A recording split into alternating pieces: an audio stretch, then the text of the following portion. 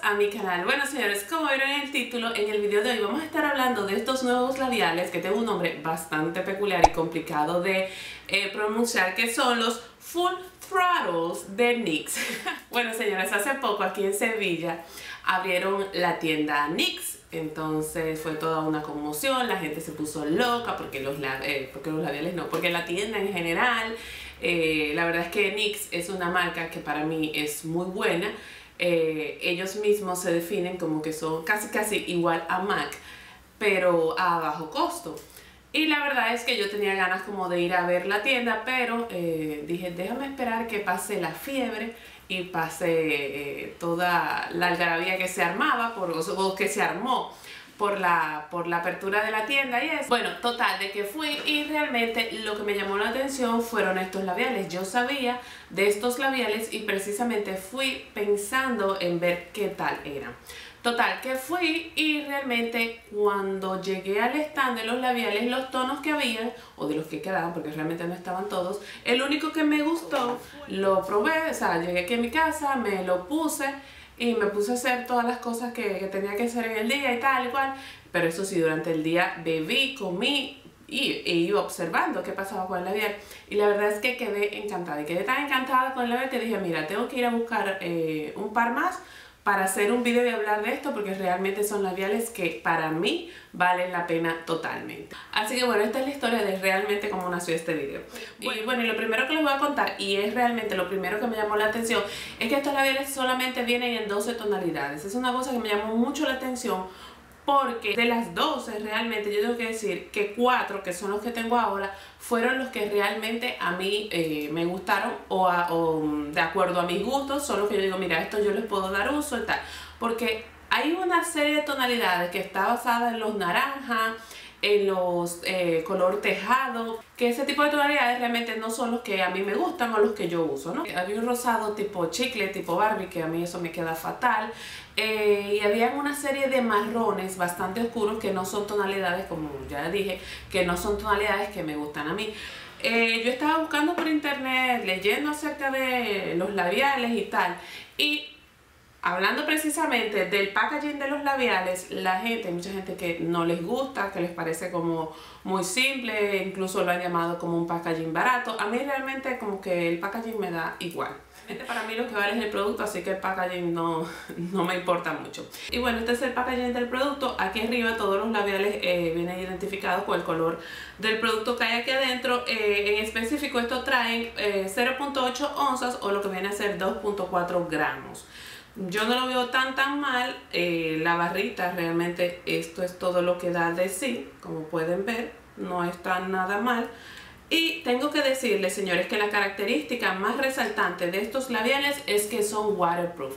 Y la verdad es que sí, son waterproof. Yo tengo que contarles que yo, hoy es miércoles, yo el sábado me puse, eh, si no me equivoco, creo que fue este mismo labial. Y salí a comer con la familia, comimos, bebimos y tal. Realmente yo no estuve como muy muy pendiente del labial, pero cuando llegué a casa y yo dije, oh, déjame ver el labial y tal, a ver cómo estaba. Señores, el labial estaba intacto. Lo primero que uno se le va es la zona interna, obviamente pues, por estar en contacto, obviamente con la saliva, con la comida, etc. Pero tengo que decir que este labial absolutamente para nada se movió. Y la fórmula de este labial es totalmente ligera y cremosa. Cuando yo me lo estaba poniendo la primera vez yo dije, pero esto no es mate nada por lo ligera que era la aplicación. Para mí fue tan fácil y tan sencillo que realmente yo pensé que esto no era para nada mate y la verdad es que sí, cuando tú te lo aplicas, eh, la aplicación es muy muy sencilla, hay que esperar eh, porque realmente digamos que se queda como un poquito húmedo. Pero a los segundos se pone mate señores y esto no hay quien lo mueva. Y una cosa muy buena para la aplicación es que ellos vienen con una punta bastante característica que te ayuda a delinearte muy bien el labio y a evitar esos desastres que a veces no solemos hacer intentando delinearnos con el mismo labial la verdad es que estoy encantada, señores. Y hablando de la pigmentación, la pigmentación es buenísima. Se agarra, se lo pasa una para la derecha, otra para la izquierda y se acabó. No hay que pasárselo 30 veces para que agarre el color, no. Porque la pigmentación desde la primera pasada es buenísima y la durabilidad es muchísimo mejor. Porque, señores, al ser esto waterproof, esto dura, dura y dura. Porque hay labiales que simplemente con tomar agua se te van. Yo eh, me lo he puesto a eso de las 10, 11 de la mañana y todavía a las 4 de la tarde, habiendo comido, bebido y eso, eh, se me ha mantenido, el, el labial a mí se me ha mantenido intacto. También es una realidad que es algo que yo recomiendo. No son súper secos porque realmente no son súper secos, sí son fáciles de llevar en el labio, tú no lo sientes, no sientes el labio pasado. Miren, no se transfiere absolutamente para nada. No son súper secos, pero sí yo recomiendo a la gente que tiene eh, labios con tendencia a resecárseles mucho que sí se pongan un bálsamo. De hecho, cuando tú lo compras en la tienda te dice, mira que esto se recomienda. Yo realmente no, no me pongo bálsamo antes de porque a mí los labios no se me maltratan, realmente no se me suelen maltratar. O los pobres yo los tengo tan acostumbrados a usar labiales mate y super mates que no, no se me resecan para nada. Tienen un precio de 6 euros que yo realmente no los veo caro porque son labiales que son buenos, son labiales que cumplen lo que dice, son waterproof y realmente compitiendo con otros labiales de alta gama, eh, para mí estos son mucho mejores. Yo les voy a enseñar ahora los cuatro tonos que tengo y les voy a enseñar a un par que le encontré su dupes. Entonces bueno, vamos a empezar con esto. Bueno, y en primer lugar les voy a mostrar este, un rojo, que es un rojo fabuloso de paso. Lleva por nombre Up the Bass y es el número 08, señores. Este es un rojo que desde que yo lo vi y yo dije, pero este rojo a mí se me parece como al Ruby Hoo. Y la verdad es que yo lo busqué, aquí tengo el Ruby Hoo también, lo busqué, señores, y la verdad es que son, bueno, yo no voy a decir que idénticos, pero señores, son un 98% idénticos, idénticos. Es que es una cosa de que quizá el Ruby Hoo puede ser un poquitico más oscuro y este al, al, sol es un poquitico más claro pero es que uno lo ve y a primera vista se ven muy muy parecidos, parecidos. sí es una realidad que en cuanto a la fórmula son bastante distintos porque el Ruby Hoo eh, como bien tiene su apodo ese es tan seco que es como el desierto de Sahara y sí, es bastante, bastante difícil aplicarlo porque es súper difícil, pero como están viendo aquí a la hora de hacer los swatch y las tonalidades son bastante, bastante parecidas. Y el otro dupes que encontré es el número 10 Locket, que este fue el primer labial que yo compré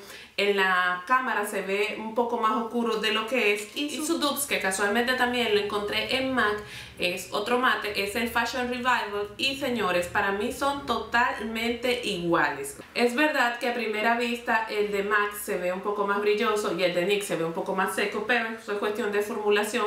Es verdad que este de MAC es un mate, no es un retro mate, entonces a la hora de aplicarlo es muchísimo más fácil, no es tan seco ni tan complicado como los otros y la verdad es que la formulación se me parece muchísimo, muchísimo a los de NYX. La única diferencia que obviamente el de NYX es waterproof y el de MAC no es waterproof. Y los otros dos que tengo aquí, en primer lugar les presento este que es el que llevo puesto y es el número 05, como pueden ver es este que llevo puesto y este que es el número 12 que es el Sandman. Como ustedes pueden ver es un color bastante bastante bonito. Eh, yo lo compré realmente para variar un poco en las tonalidades porque es una realidad que tengo que salir un poco de mi zona de confort de los rosados, de los moraditos y dije bueno mira déjame comprar este color porque no está nada nada mal. Estas son todas las tonalidades que tengo. La verdad es que yo estoy eh, encantada con estos labiales me gustan muchísimo la verdad es que cumplen todo lo que prometen eh, son waterproof, duran muchísimo, la pigmentación es buenísima,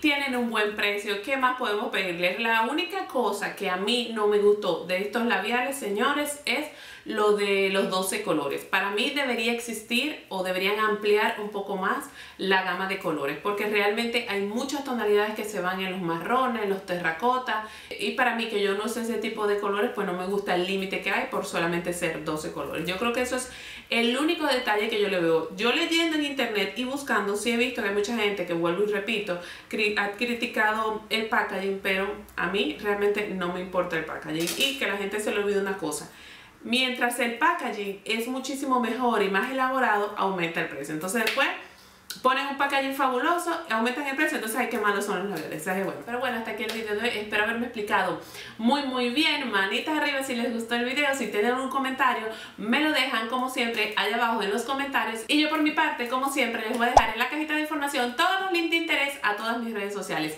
Y recuerden que si usted no está suscrito, allá abajo en el botoncito rojo, suscríbase y usted y yo nos vemos en el siguiente video. Chao, chao.